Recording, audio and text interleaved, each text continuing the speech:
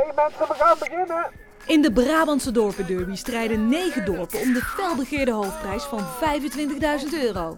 Wat een drukte, hè? Rogier bezoekt deze week de dorpen Sint Agatha, Deze mensen zijn zo zelfredzaam, hè? Hezen